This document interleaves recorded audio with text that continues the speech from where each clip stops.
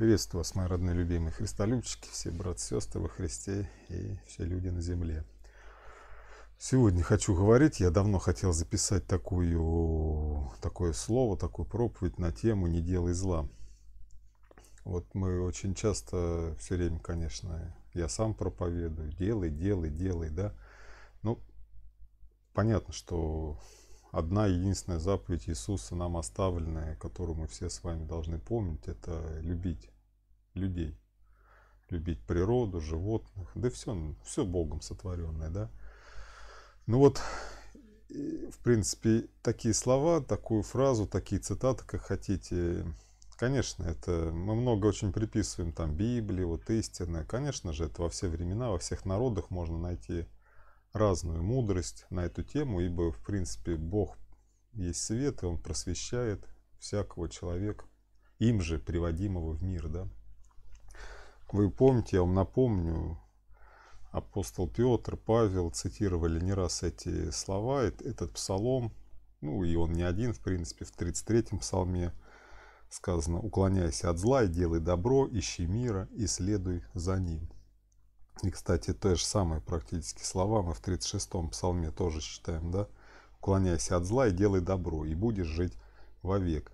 Но вы знаете, я вот хотел поговорить как раз сейчас не вот это, э, здесь-то все понятно, уклоняйся от зла и делай благо, да, и делай добро. А я хотел поговорить, э, тут все-таки есть определенный контекст, это же опять стихи вырванные из э, Писания. А вот я вам хочу сейчас одну такую тоже, кому-то может быть известное, кому-то нет, древнее изречение мудрецов сказать. И вот на его тему поговорить я хотел бы и теоретически поговорить, и поделиться своим практическим личным тоже опытом. У вас свой есть, поэтому вы тоже все это сравните, и я думаю, либо поймете меня, либо просто у вас то же самое было, либо еще будет. Вот э, древние говорили, у человека нет возможности сделать всем добро, да? Но у тебя или у него, у каждого человека, есть возможность никому не причинять зла. Казалось бы, э, можно вот эти две, две, две мудрости, два изречения, которые я произнес из псалма, и вот это вот э, изречение древних, сказать, что они очень похожи, очень близко на одну и ту же тему. Но нет, конечно же, то, что я вам цитирую вот эту, я не знаю автора, это как мудрые мысли, просто неважно, кто это сказал. Это, конечно же, по факту вы прекрасно сердцем понимаете, чистым своим, что это есть истина. И вот я хотел поговорить на эту тему – я говорю, даже не знаю, начать с теории или с практики, или все вместе перемешать. Я, конечно, очень часто, и вот мои ролики, я, я иногда их так и называл, нагота сердца моего. В принципе, я люблю это делать, это опыт, а нет ничего лучше, чем опыт на самом деле. Потому что все это учительство или теории, какие-нибудь учения. Сам Иисус, вы помните, красная нитка была – он говорил сотворите и научите. А почему он так говорил? Потому что сам творил и учил. То есть сам что сделал, то и заповедовал делать. Он и заповедовал творить и учить только потому, что сам творил и учил. Да? И вы помните, как Лука, начиная свою вторую книгу о рождении церкви, да, а, а, а, ну, книгу «Деяния апостолов», о книге о раннем христианстве, о, возра... о зачатии и возрастании церкви, первых учеников христовых – вы помните, как он начал какими словами? Если нет, я вам сейчас напомню. Первую книгу тебе, Феофил, я написал о всем, что делал и чему учил Иисус. Да? Что делал и чему научил. Да? То есть, что сам делал, тому учил. И нам, естественно, заповедовал тоже. Сначала делать, он все равно говорил, сотворите и научите. Если праведность ваша не произойдет, это все я, я даже не вырываюсь с контекста, вам цитирую не превзойдет праведности книжников и фарисеев, то есть тех, кто внешне какие-то вообще вещи нелепые соблюдают, ничего не меняющие никак внутренность и не могущие изменить, да, такие как дела закона, обряды всяких постановлений человеческих, баби и дедушкиных басен старческих и книжников. Все даже знаешь, ты теорию знаешь хорошо, ты знаешь, что надо любить ближнего, что это единственная заповедь Иисуса, ну ты ее не соблюдаешь, естественно, это праведность мнимая, вот. Поэтому, хоть ее Господь и назвал, если праведность ваша не произойдет, это никакая не праведность, это так, в кавычках, естественно, Иисус сказал это слово. И вот я тоже, я вам, в принципе, ролик-то, кто, конечно, последовательно смотрит, тому более все понятно, интересно, когда. Потому что любой проповедник, вы знаете, я как-то общался тоже с братьями, сестрами, и мне некоторые говорили, нет, ты вот должен, знаешь, абстрагироваться и ничего в своей проповеди стараться не выплескивать свою личную жизнь, какие-то переживания, либо, наоборот, радости. Ну, я сколько слушал, если честно, сколько я пытался так делать, у меня не получалось. И, если честно, я считаю это неправильным. Я живой человек я индивидуален, у меня есть свои особенности, хорошие и плохие, да. Кому-то просто нравишься, не нравишься. И более того, человек, он действительно уникален. И радость именно в том, что мы вот такие вот разные. Поэтому прежде всего надо быть самим собой. Э, это даже вот именно могут быть, это я так сказал, что понятно, у меня, естественно, есть недостатки. Вот, и тоже я погрешаю. Вот. Но я имею в виду, что есть и разность, а это вообще далеко не грех. Мы все разные. Один такой, другой такой, и мы делаем себя разными. Я говорю, один волос красит в зеленый, другой в синий, и это не грех. Каждый делает, что он хочет. Более того, это даже красота. Если это тебе не нравится, это не значит, что это некрасиво. То, что тебе некрасиво, другому может красиво. И ты ни, никакого права авторского на красоту и на ее определение не имеешь. Вот. Настоящий грех есть только один. Это ненависть к ближнему, да, не любовь его. И вот, приближаясь к этой теме, я хотел как бы сказать, вот продолжить ту тему. Я же, конечно, об этом размышлял, да. Ну, видимо, начну я все-таки со своего опыта, да, сотворите и научите. Я все-таки поделюсь, наверное, своими. Вот вы знаете, я несколько, почти три года, получается, я уже как бы выкладывал свои ролики, делился своим жизнью, мировоззрением. Потом вот я на год ушел. Ушел я почему? Вы знаете, да? Я ролик записал «До свидания», там все сказал. Меня затошнило уже от такого общения, потому что я попытался найти настоящих учеников, живую церковь, и я ее практически не нашел, да. Вот. И именно люди меня отвратили от этого, да. Вот это вот человеки. И вот я вернулся уже третий месяц, как я опять снова все проповедую, выкладываю. Конечно же, я многое переосмыслил в этом плане. Именно вот э, не мировоззрение свое, не, не, не учение Иисуса, не свою жизнь, а именно вот свое отношение к этому, что я видел, что слышал, э, как общался с людьми, как они общались со мной. И я вот продолжаю эту тему и тему «Не сотвори зла», вот это именно фраза, теперь я еще раз ее произнесу и буду периодически произносить, чтобы она вам все больше раскрывалась. У человека нет возможности всем делать какое-то благо. Весь мир накормить, напоить, исцелить, воскресить, да. Всем по машине купить, всем улыбнуться, всем пожать руки. У человека нет этой возможности. Но у тебя есть возможность, и ты ей обладаешь сто процентов никому не сделать зла. Вдумайтесь в эту фразу. Действительно, чтобы сделать добро многим людям, ты должен как минимум со всеми соприкоснуться, чтобы что-то ему сделать. А не делать зла очень легко всему миру. Во-первых, ты уже не делаешь зла с тем, с кем ты вообще никак не соприкасаешься с людьми, да? Ты уже никак. Ты им, конечно, добра не можешь делать, но ты и зла им реально не сделал. Получается, если ты не сделаешь еще и зло тем людям, с которым ты соприкасаешься, ты можешь эту заповедь, так назовем ее, вот эту, которую мы сейчас с вами, я вам зачитал, которую считаю действительно истинной мудростью, да, истинной жизни, ты действительно можешь исполнить на 100%. Потому что сделать всем добро невозможно, а вот не сделать никому зла. Ну тут как бы говорится, что первое, ее невозможность, если, если это сделать заповедью, полюби всех, да, там, грубо говоря, сделай всем благо, ты ее реально исполнить не можешь. А вот не сделать никому зла ты можешь. Потому что ты не делаешь тем, кого тебе не встречаются люди. И ты действительно, потому что, может, ты встречному человеку не можешь ничего сделать. Вот человек болен, да, ты что, врач? Даже если ты врач, не факт, что ты врач этой профессии, этого направления. Если даже этого не факт, что ты ему можешь помочь. Э, да, потому что даже одни и те же врачи в одной и той же болячке, кто-то может помочь, кто-то нет, хотя не все в этой области специалисты. Вот, неважно, там знанием меньшими обладает, а тому тот большими, или ему повезло. И один исцелил, другой нет, поэтому мы бегаем там по одним и тем же специальностям, но по разным врачам, они также ошибаются и прочие вещи, да. Вот, но ты реально можешь не сделать зла. Кстати, отсюда, кто знает, в принципе, клятва Гиппократа, да, то есть первое, хотя бы не навреди.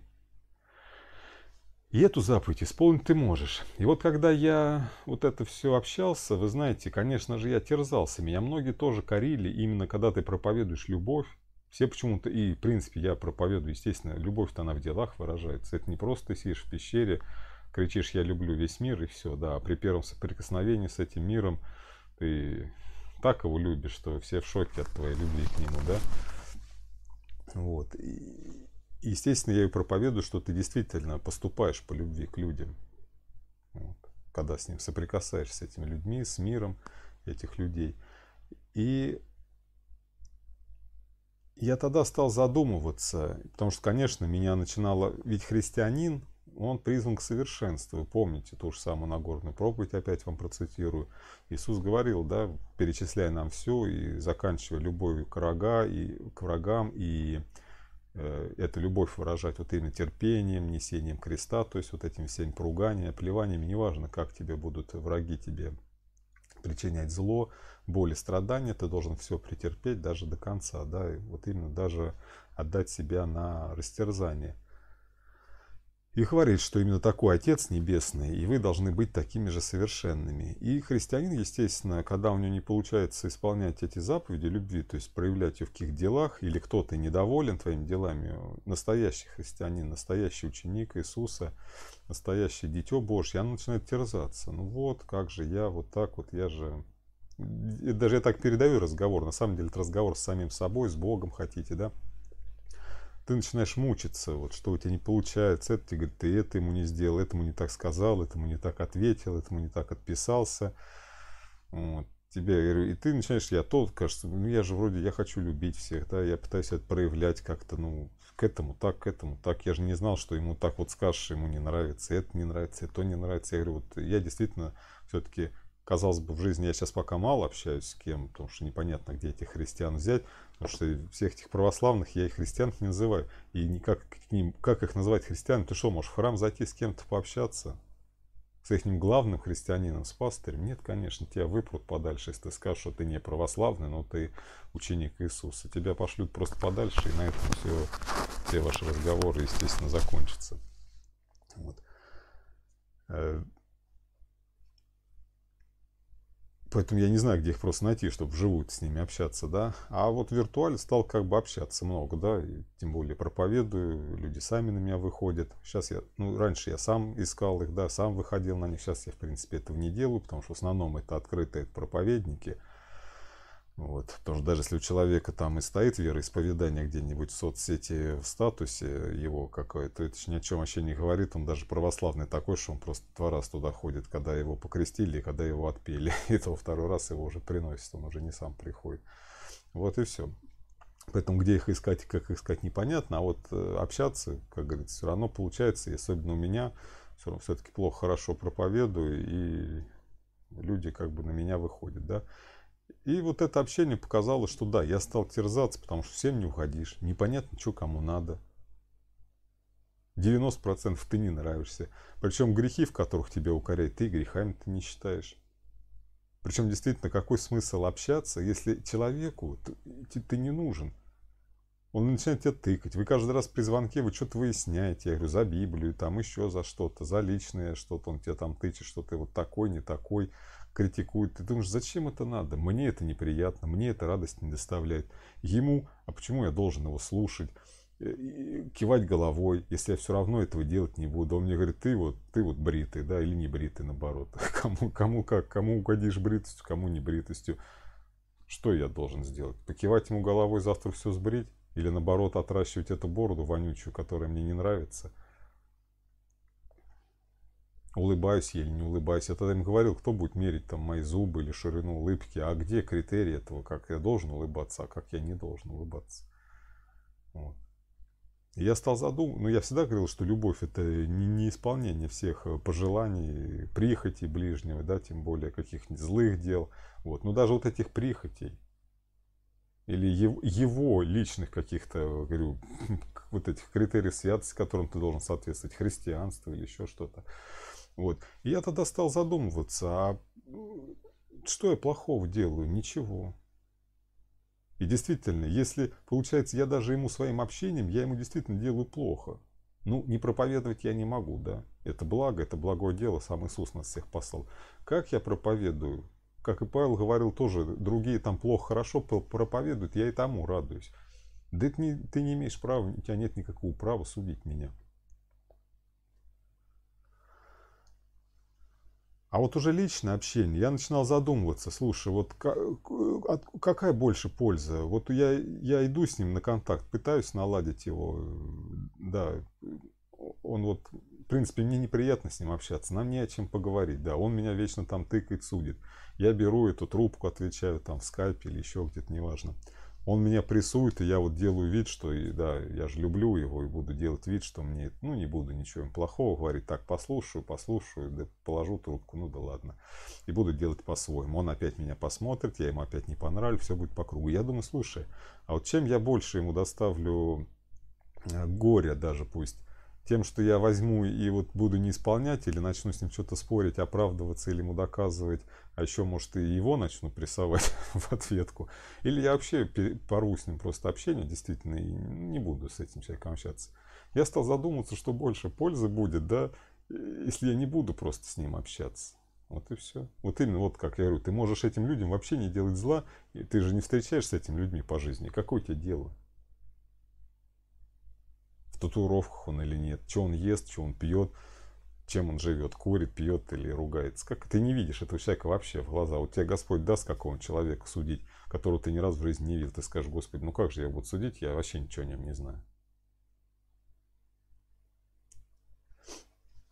Я стал задумываться, я говорю, такой ли я плохой на самом деле, потому что ты, тот, кто, я говорю, реальный христианин, э, его начинает, мы, мы, мы я себя к ним при, причисляю, я начинал задумываться, ну как, что, мне же хочется действительно себя шлифовать, э, учиться возрастать в любви, совершенствоваться в любви, в познании тем самым Бога, да. Но я, если я это делаю искусственно, я говорю, я же понимаю, что это не дела любви. Я почему-то ему потакаю, непонятно почему, хотя я с ним не согласен. У меня есть, и я верю в истину, что каждый человек имеет право исповедовать и верить, и жить, как он хочет. Я начинаю, когда сам себе противоречу, у меня начинается расстройство внутреннее, как психики, да, раздвоение личности и так далее. Я именно так пробовал жить, и у меня не получилось. Вот многие говорят, ты там поменялся или возрос. Я вот, да, я в принципе говорю, что во мне поменялось. В учении ничего, а в крепости изменения и опыте жизни, да, поменялось, конечно. И я тогда стал думать, я говорю, а почему я такой плохой? Ну, для них я плохой, для себя-то я же знаю, я же чувствую, у меня чистое сердце, я ничего плохого им реально не сделал. В чем бы меня мог обвинить Господь, да? И зачем тогда это все вообще? я понял действительно, что вы знаете, вот можно жизнь прожить, не делая никому зла, жить и не грешить, да? Действительно, надо поменьше тогда вот быть избранным там в общении с кем-то ну, если ты не нравишься человеку, что с ним пытаться налаживать контакт? Всегда передо мной глазами вы знаете Иисус, Его жизнь. Благо, нам не просто какое-то теоретическое учение оставили, на жизнь. Вы знаете, сколько раз я читал, изучал Евангелие, очень хорошо его знаю до сих пор. Опять с вами снова уже и публично читаем вместе, чтобы назидаться. Он не пытался всем миром угодить, да, он не пытался всех тоже накормить. Да, я с радостью, с великой служу, делаю и делаю добрые дела, то есть сверх что-то. Но я действительно перестал терзаться. Посмотрите на Иоанна Крестителя. Что он делал? Он работал? Нет. Он всех на свете накормил, бедных, сирот. Кому-то дома строил, кому-то еще что-то делал. Да нет. У него была своя миссия. Да, он проповедовал, да, он учил вот именно этому добру. Сам он ел колючки там, медом закусывал, все, водой запивал. Что он еще делал? Но действительно, человек не сделал никому зла, и все добро, что он сделал, ему, как говорится, в плюс, да, в его святость в энергию жизни, энергию любви, энергию Бога, энергию совершенства, он это приумножал. Посмотрите на Иисуса. Весь ли мир он спас? Я говорю, он даже не проповедовал язычников. Я всегда, вы помните, это говорил, я говорю, задумайтесь, сколько за три года его проповеди погибшим овцам дома Израилева умерло грешников повсюду, язычников, во всем мире. Миллионы людей, наверное, умерло. Но из этого я всегда предлагал сделать другие еще выводы о Боге любви, о которых сегодня просто не хочу говорить. что вот именно, и что эта жизнь далеко не предел всему, и далеко не по этой короткой жизни Бог будет нас судить в вечности, мы действительно, наш путь к совершенству, он бесконечен, точно так же, как и наша жизнь, наша природа, наша душа, наш внутренний человек, или дух, или ум, как хотите. Короче, мы. Мы бессмертны, вечны, и всегда можем в любой момент повернуться, обратиться и пойти на путь совершенства, и достигать его не только в этой жизни, не только в этих жизнях, может быть, я говорю, я ничего в этом плане не исключаю. Вот. И действительно тогда я стал понимать, что, и вот я говорю, сейчас еще эту теорию в практику, она у меня стала обращаться. Вы знаете, действительно, это, это не просто какое-то самовнушение или спокойствие, это действительно гармония с самим собой. Ну, кто видел, я сейчас, я говорю, стал такие тоже вот эти мудрые мысли со своими э, аватарками э, лепить там в фотошопе и выкладывать в соцсетях, кто у меня там в друзьях, те, наверное, видят. Вот как тоже одна из мудрости, да, то есть величайшая гармония человека и мира, его души тогда, когда он понимает, что он никому ничего не обязан доказывать. Ну, там немножко по-другому, я сейчас своими словами, я их не все заучиваю наизусть, какие-то прям ложатся на фразу, на сердце. Ну, общие мысли, естественно, помню. Вот. Кому ты что должен доказывать? Я говорю, вот эти беседы, я помню, были – ну вот у меня была там, вы знаете, кто смотрел уже, сейчас я там одну выложил из свеженького. Я говорю, недавно мне человек звонил, я как бы, так скажем, отказался сразу с ним разговаривать практически. Вот Саша там предлагал с этим, Олег, по-моему, да. Вот, ну поговорили, ну вот выложил. Мне не надо было это, в принципе, я сделал только ради там Саши. Пообщались опять. Какой в этом смысл? Да никакого. Что-то с кем-то спорить, что-то кому-то доказывать. Вот. И я реально стал смотреть на себя немножко иначе. Я говорю, я реально стал, во-первых, трепетно относиться к тому, чтобы не делать реального зла. Вот действительно, даже вот в этих каких-то спорах, в случайных людях, там где-то на улице, на дороге, в жизни, в интернете встречается. Я говорю, и как бы тебя, на тебя вот даже враги не наезжали, там еще что-то обижали, оскорбляли – я говорю, допустим, забанить в Ютубе, я не считаю это злом. Я говорю, это мой дом, это моя комнатка. Вы помните, Иисус всегда уходил в пустынное место, в сад, э, куда угодно, на гору там, да, уединялся в домах. Точно так же помолиться, отдохнуть. Это мой дом. И тот же самый YouTube канал и лично мои, это моя крепость, мой дом, да. Я делюсь здесь небесным хлебом, да, с кем-то и, и физическим хлебом, кто знает, да, ко мне обращается. Я за счет этого канала объявляю о каких-то нуждах. И мы так можем друг другу действительно помогать, участвовать в горе, в радости. Ибо если мы христиане, семья, пусть мы далеко, мы должны помогать друг другу однозначно, не только духовным хлебом и физическим, даже, я бы сказал, в первую очередь. Поэтому, естественно, проблемы наши друг друга мы должны обязательно решать. Земные, и небесные любые. Вот. А на других каналах, пожалуйста, можем там и подебатировать, и там ты можешь себя вести как хочешь, я и там же буду себя вести, стараться культурно и по всем правилам, да, вот. Но действительно, вот благо, какое можно сотворить благо? Ну вот, я говорю, вот Иисус к врагам, мы с вами Евангелие читали, э, только вот закончили по Марку, ну, правда, сегодня ролик выйдет, я просто сегодня закончил, но вы этих роликов еще не видели, ну, неважно, вы знаете, да, то есть Иисус на кресте явил максимальную свою любовь, да, к врагам, к своим, кто мое чтение слушал, тот это все видел, вы и сами, конечно, должны видеть, но благодаря тому, что мы вместе читаем, я думаю, вам это раскрывается в большей степени. И он там явил. Но опять же, какую он к любому, любовь к врагам явил? Ну да, он молился за них, действительно, Отцу Небесному, но по сути сам показывал свое нутро, ибо он Отец одно, Отец в нем, и он в Отце. И как бы он, если молился отцу, значит, это отец внутри, значит, отец есть любовь. Он же его просил простить. Значит, это его внутреннее желание, а он отец одно, значит, отец есть любовь, да? Вот, чтобы не вменил им греха. Но при этом, я говорю, если мы, ну это правда, если мы Иисуса Богом признаем, тогда это Он же им жизнь подает. Но мы, как люди, таких не можем вещей сотворить. Что вот мы можем врагу сделать?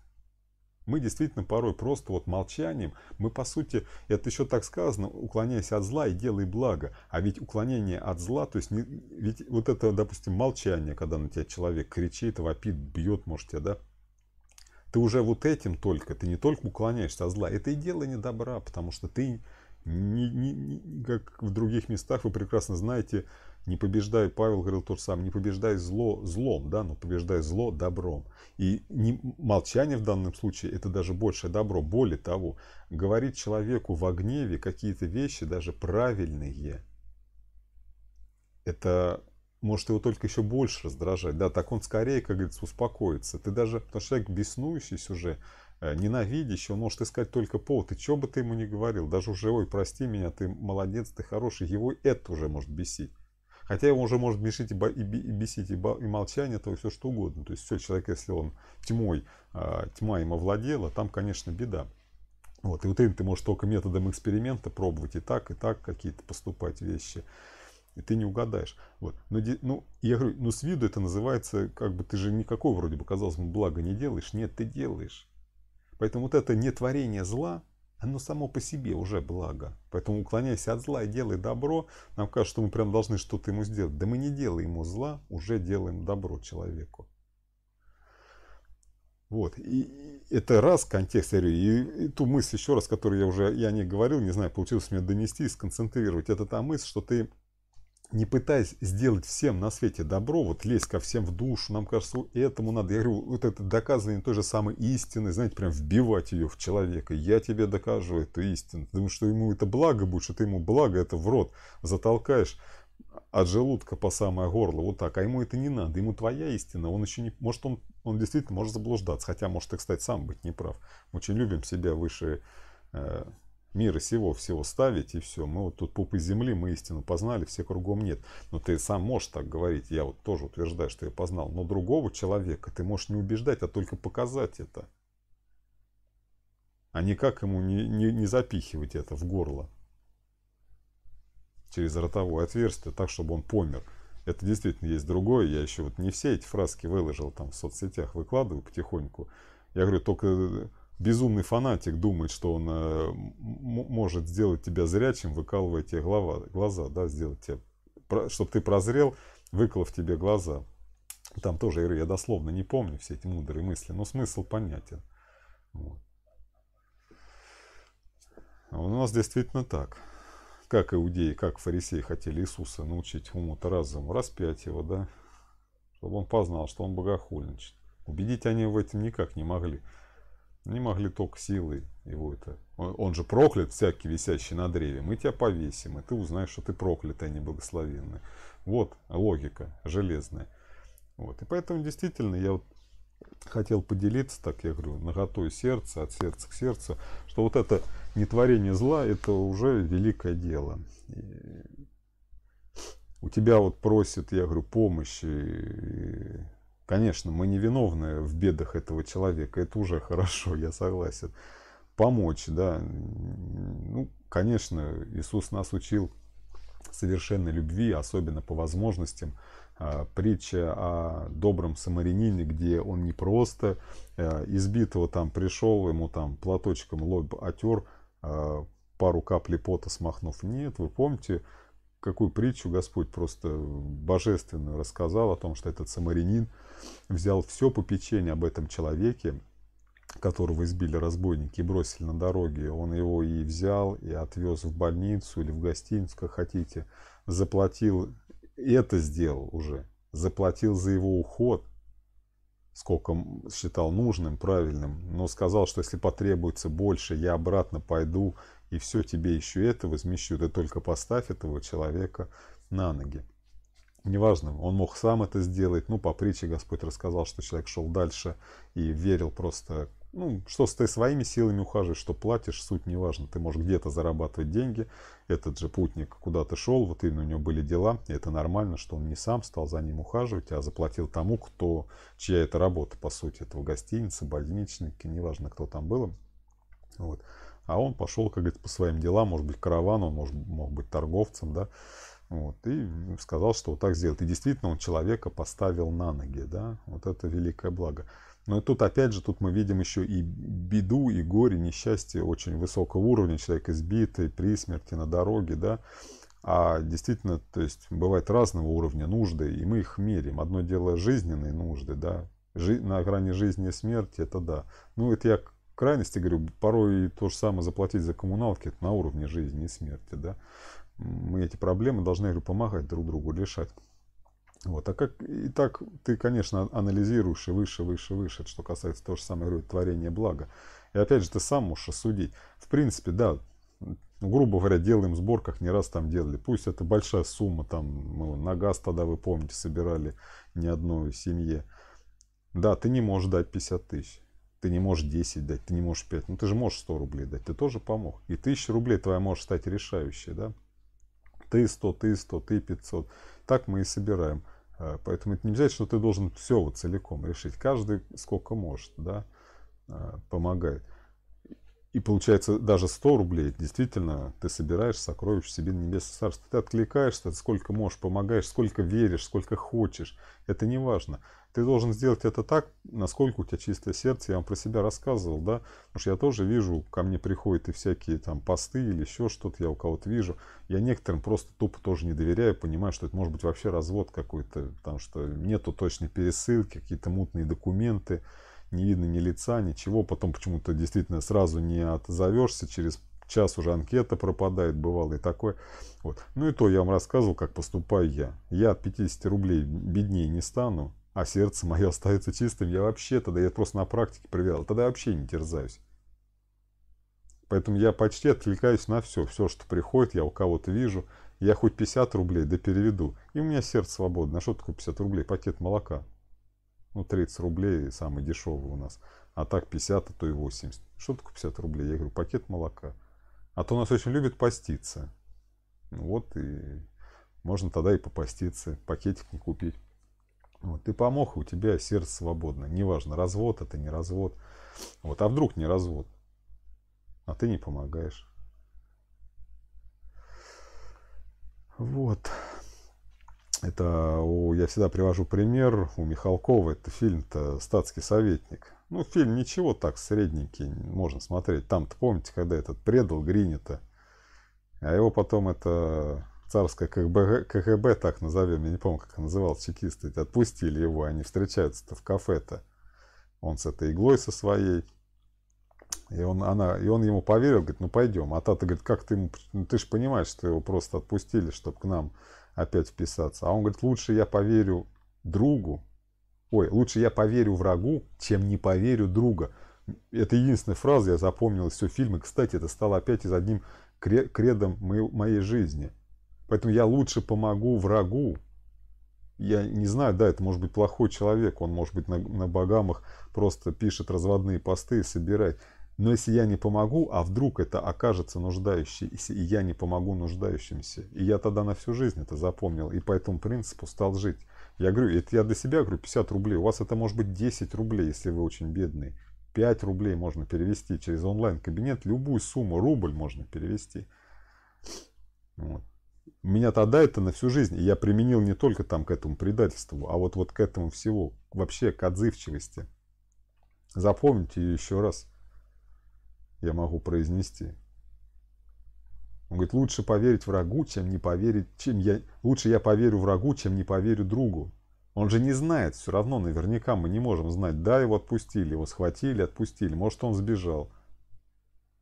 И он его там поспрашивал, как что. Он говорит, ну я же не знаю наверняка.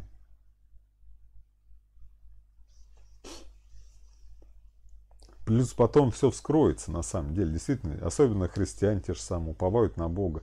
Там разберется. Человек эти деньги во благо все равно не потратит. Скорее всего, куда-нибудь сквозь пальцы протекут, и, и, и через Господа могут и на добрые нужды пойти. Ты не знаешь этого. Сейчас главное, как ты поступишь, отреагируешь. А ты наверняка не знаешь, ни что это развод, ни что это нужда. Я говорю, ну есть же какой-то уровень. Я почему вот на свои стал ролики так реагировать. Я же знаю, кто меня смотрит. Я думаю, ведь важна сама реакция. Реагируем мы или нет. Вот. Конечно, я говорю, понятно, вы в этом не виновны. Я сам сегодня ролик пишу на тему «Не твори благо». Конечно, никто не виноват в бедах других. Да, и в принципе, я говорю, не обязан их, так скажем, решать. Вот. Хотя я вам говорю, что здесь немножко другое. Когда я говорю о нетворении зла, вот такого, это я имел в виду, что мы очень часто любим всем вокруг навязывать свою любовь. Вот это я вот в этом контексте говорю. Потому что здесь сама вот эта фраза, у человека нет возможности всем делать добро, но у него есть возможность никому не делать зла. Это к тому, что действительно мы порой хотим всем, мы терзаем, что мы всем там добра не сделали, вот этому, этом бежим там делать, от нас порой ничего никто не требует. А вот действительно, и порой ты домой же приходишь и на тех же самых близких там что-нибудь срываешься или согрешаешь в каком-то узком кругу. И вот тут, да, тут как бы ты рвешься туда, а ты действительно вот, не, зла ты можешь не делать никому. А творить добро по всем у тебя нет возможности. Порой оно кому-то не нужно, твое добро. Как я говорю, истину мы проповедуем с кулаком или с мечом в руках. Это неправильно. Что не познавшим атеистам, еретикам, язычникам, что своим еретикам, я говорю, каким-нибудь, кто в своей там какой-нибудь секте, направлении. И вот тут вот, поэтому я говорю, всем мне хочется, кто это опытом прошел, тоже терзается или еще нет ответов, я вот своим таким опытом делю и практическим размышлениями. Тот, кто познал истину, действительно, то, что мы не делаем, я говорю, человек ведь покаявшийся человек, мы все очень требовательны, христиане, это хорошо. Вот. Но никогда нельзя себя загонять совсем уж там в ныне, в ныне вот в это, я говорю, в такую несправедливую самому к себе действительно критику. Потому что, я говорю, покаявшийся христианин действительно сильно меняется. Я говорю, ты перестаешь на кого-то наезжать, обижать, оскорблять. Я, это же мы все по себе знаем. Вот.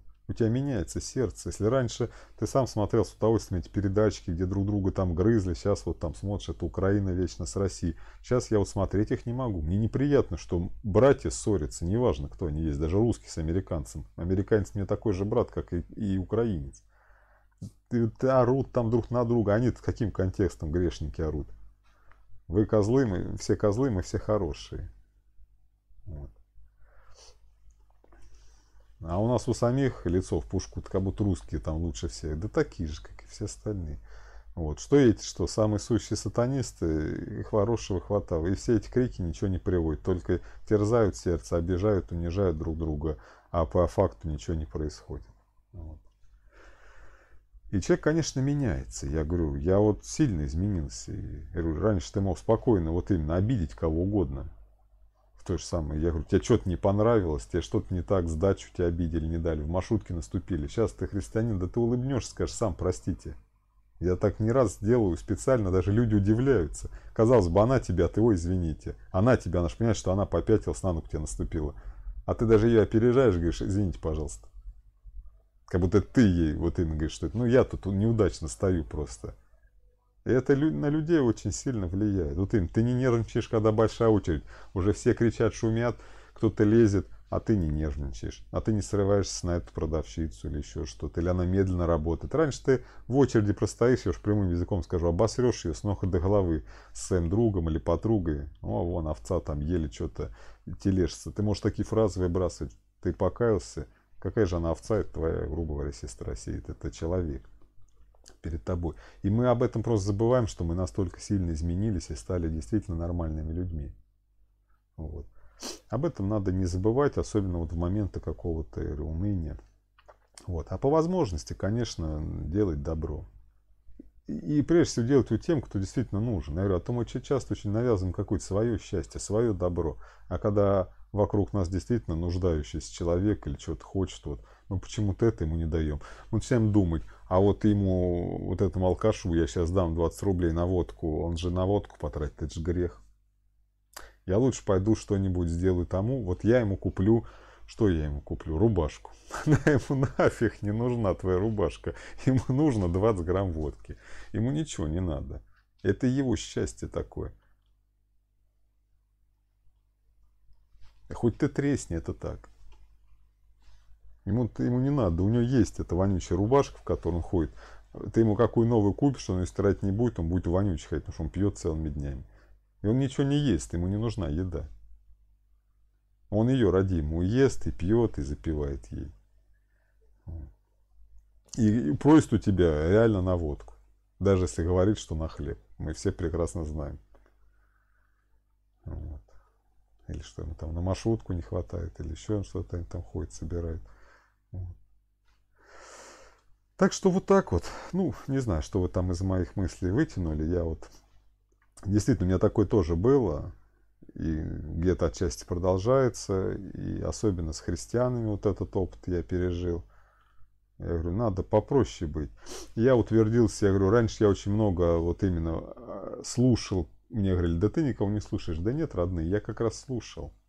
И меня все это очень кололо сильно, когда вот ты меня несправедливо, начиная от эру моей внешности, моего поведения, как я говорю, потом касается, что я говорю, там учения, и меня этим тыкали, дергали, я почему должен говорить как он. Я говорю, слушай, вот вас у, у меня много. Ты мне реально звонишь, мне пять минут, ты знаешь, кто звонил, там многие мы знаем друг друга, многие нет. Я говорю, он мне полную противоположность говорил. Вот я говорю, мне из вас двоих кого послушать, чтобы кому угодить? Я говорю, я с вами с ума сойду. Один мне говорит, так себя веди, другой вот так вот. Я говорю, не, родные, хватит. И я тогда действительно, я говорю, перестал это делать. И вот сейчас я спокойно стал говорю, реагировать на все эти, что-то там пишешь, кто-то вот. И ждал я там, как я говорил, какой-то благодарности, там, что эти лайки там, что действительно какие-то теплые комментарии, которые, если ты действительно это испытываешь, ты какую-то пользу получил, ну ты напиши, это нужно видеть. И я потом уже бросил на все. Я знаю, что я приношу людям пользу, да, этими проповедями, этими словами, чтением, писанием, разъяснением всем этим, да жизненным опытом, одним явлением своей вот этой смелости, твердости в исповедании, в вероучительстве, в учительстве, как хотите, во всем. Я понимаю, что и даже врагам я приношу пользу.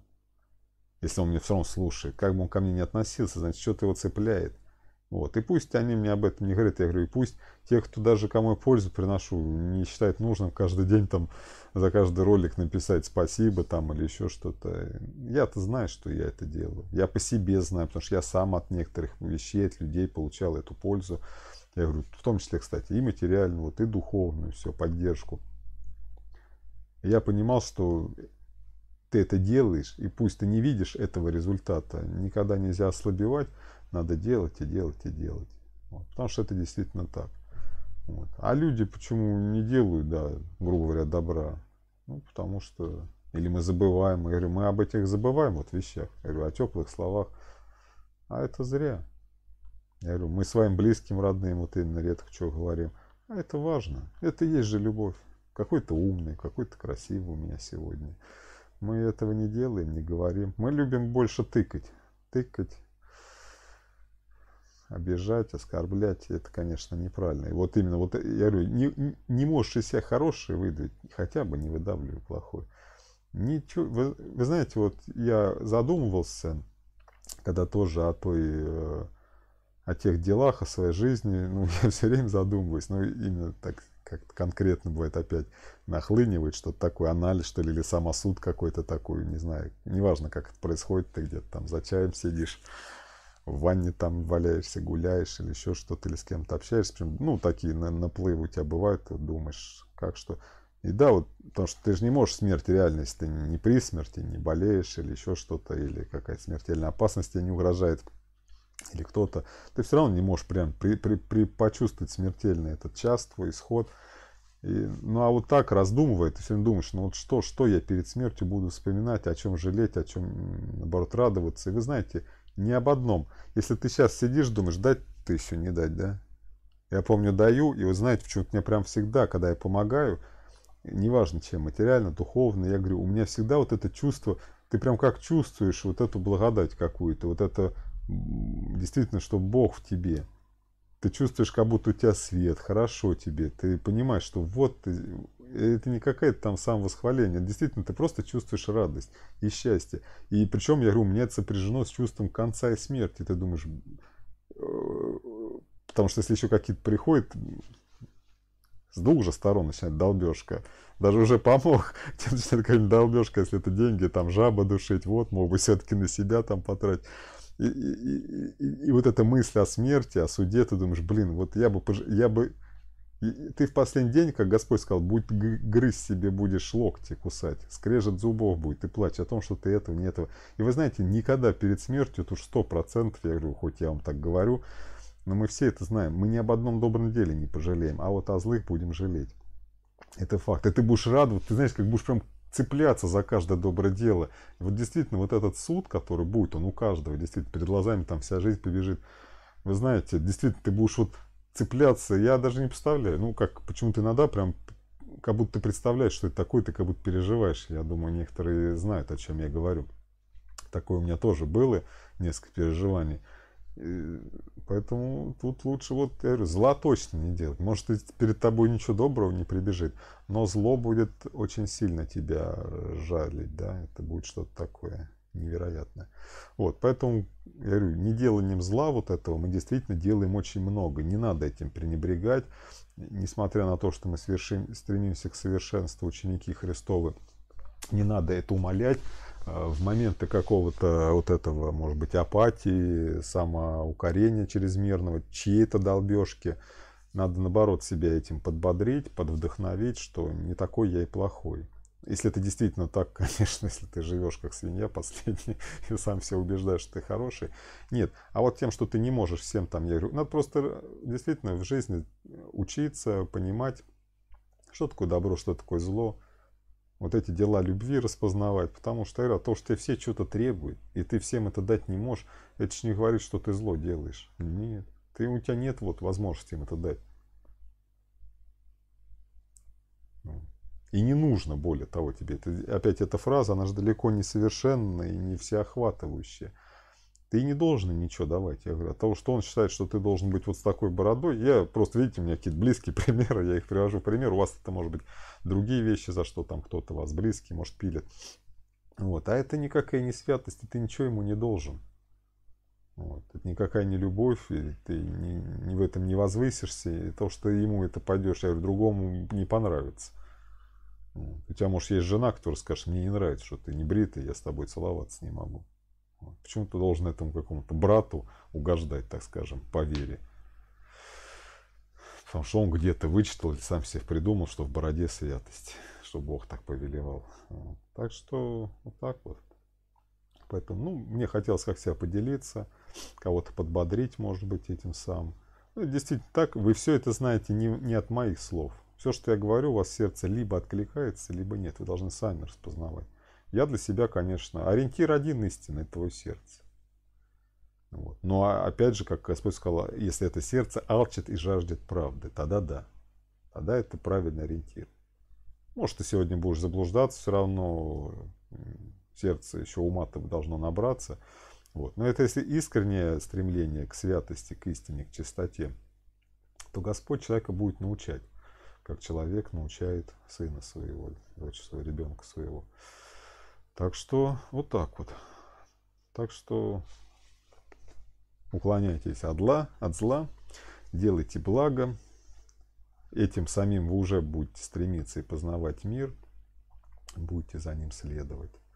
Все, всем я вам желаю всякого-всякого счастья. Заповедь вы помните с Иисусом, завет, который мы с ним поставили – он с нами, мы с ним заключили, согласились в одной единственной заповеди, что если мы любим его, будем ее соблюдать, а это заповедь о любви всего вокруг Богом созданного, в первую очередь, конечно же, людей. Все, я с вами прощаюсь, до встречи в следующем ролике. Если вам полезны, отрадны мои уроки, мои проповеди, смотря какие каналы вы смотрите, мои чтения, то вы сами уже знаете, что делать. Все, пока-пока. Всех по-братски обнимаю и целую. Пока-пока.